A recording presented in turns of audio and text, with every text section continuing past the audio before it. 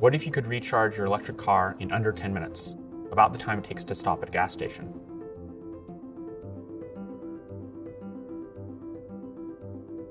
The overall goal of this research is to develop methods that allow us to accelerate battery testing, but without degrading it a large amount.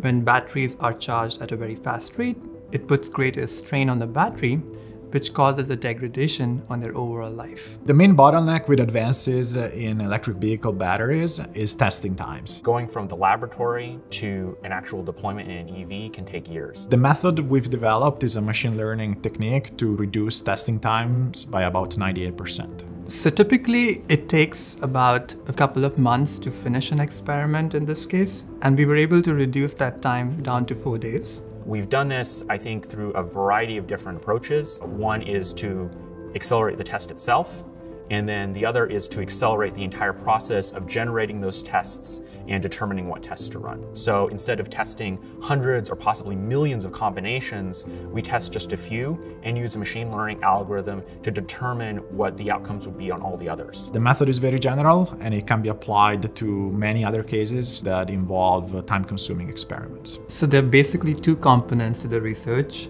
So the researchers wrote a program that based only on a few cycles of charging would figure out what's the lifetime of a battery. And the other component of the research was an algorithm which figures out which charging protocols to test and when. So this is an exciting uh, academic and industrial collaboration between Stanford, MIT, and the Toyota Research Institute. The Stanford groups uh, were focused first on experiments, providing the data. At TRI, they've helped with the design of the data collection pipeline and the cloud infrastructure. The group at MIT was mostly involved in making early predictions. The current work improves the efficiency of the optimization. The exact details depend on the optimization problem, but broadly speaking, we are reducing the number of experiments to the bare minimum needed to reach a conclusion. The specific goal of this research was to optimize fast charging. Can we charge a battery in 10 minutes, and what's the best way to do that? The data that is being processed for these machine learning algorithms is being packaged into cycles. We take each time we charge and discharge the battery as a distinct unit, and we both clean and standardize that data.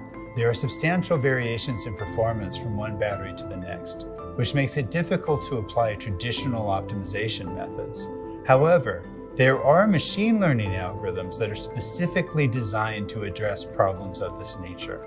It also helped us identify novel charging protocols which we did not know existed that could help us charge a battery much faster. Using a data pipeline is the best practice for data at scale, especially as scientific experiments start generating more and more data, the volume increases. Uh, this becomes a much more important practice. Yeah, I think one of the reasons this was not done before is that it really required a lot of an interdisciplinary collaboration between and, and expertise both in the machine learning world and what kind of algorithms we should use for this particular application and a lot of expertise in terms of like battery technology. This provides a better way to do science and experiments in the future.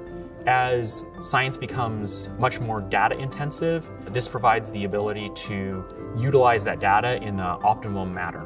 How can we use AI and machine learning, optimal experimental design, the kind of technologies that we've just talked about, not only to optimize for something, but actually help us come up with a better understanding of the physical processes.